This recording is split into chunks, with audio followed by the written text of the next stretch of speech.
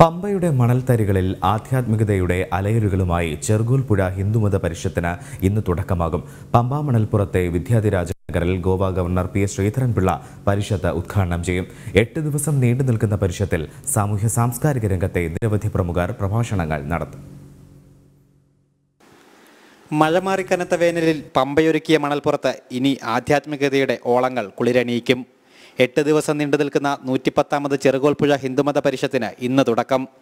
പൂർണമായും കൊറോണ നിയന്ത്രണങ്ങൾ പാലിച്ച് നിയന്ത്രിതമായ ആളുകളെ ഉൾക്കൊള്ളിച്ചാവും പരിഷത്ത് നടക്കുകയെന്ന് സംഘാടകർ വ്യക്തമാക്കി. ഇതുമായി ബന്ധപ്പെട്ട് നമ്മൾ ചോദ്യാവലികൾ ഉന്നയിച്ചപ്പോൾ ഇതിന്റെ മഹത്വവും പാരമ്പര്യവും നിലനിർത്തുന്നതിന് ഇത്തരം പരിപാടികൾ കേരളത്തിൽ നടക്കണമെന്നാണ് ഗവൺമെന്റിന്റെ ആഗ്രഹമെന്ന് സൂചിപ്പിക്കുകയും കളക്ടർ അതിന് അനുമതി തരികയും ചെയ്തിട്ടുണ്ട്. പറഞ്ഞിട്ടുള്ളത് മാനദണ്ഡങ്ങൾ പാലിക്കണമെന്ന് തന്നെയാണ്.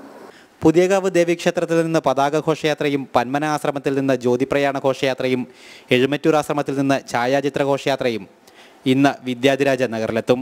വൈകിട്ട് നാലിന് Goa governor P S Sreedharan Pillai പരിഷത്തിന്റെ ഔദ്യോഗിക ഉദ്ഘാടനം നിർവഹിക്കും. ഹിന്ദു ഐക്യവേദി സംസ്ഥാന അധ്യക്ഷ കെ പി ശശികല ടീച്ചർ ഇന്ന് പ്രഭാഷണം നടത്തും. തുടർന്നുള്ള ദിവസങ്ങളിൽ ചിദാനന്ദപുരി സ്വാമി വത്സൻ തില്ലങ്കേരി കുമ്മനം രാജശേഖരൻ തുടങ്ങി രാഷ്ട്രീയ സാമൂഹിക സാംസ്കാരിക രംഗത്തെ നിരവധി പ്രമുഖരുടെ പ്രഭാഷണ പരമ്പര അരങ്ങേറും.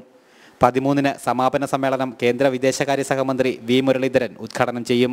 ആധ്യാത്മിക സമ്മേളനങ്ങൾ മുൻനിർത്തി കൂടുതൽ ഇളവുകൾ പത്തനംതിട്ട ജില്ലയ്ക്ക് അനുവദിക്കണമെന്നാവശ്യപ്പെട്ട് ജില്ലാ കളക്ടർ ചീഫ് സെക്രട്ടറിക്ക് കത്ത് നൽകിയിട്ടുണ്ട്. ജനം പത്തനംതിട്ട.